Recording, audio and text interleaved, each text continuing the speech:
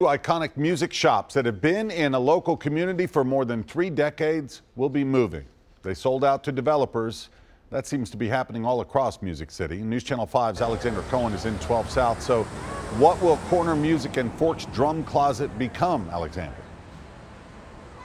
Well, according to the owner here at Corner Music, the future developers who bought this property will turn it into retail space. They've been eyeing this particular property for nearly three years.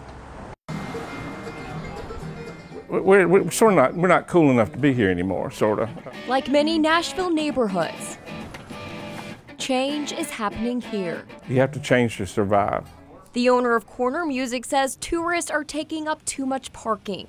They need to move to keep clients coming in. Probably bigger. We'll have nicer bathrooms and we'll have more parking.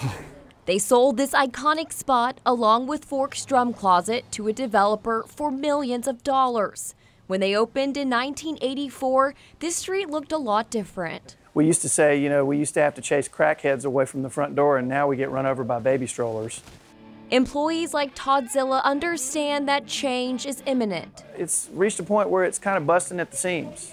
Other people who work here are shocked at how much has changed in a couple years. It's unbelievable. It's staggering. Nolan Lucas says he has mixed feelings on saying goodbye after working here for over two decades. Yeah, you can't hold on to the past forever. Right now, Corner Music is trying to find a new home. Todzilla says, don't worry, he'll be around to help you find a guitar. We are not retiring, we're not going away. We're still here, and we're just going to be doing it somewhere else.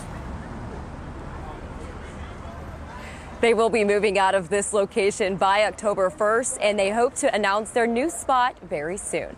Reporting live in the 12 South neighborhood, Alexandra Cohen, News Channel 5.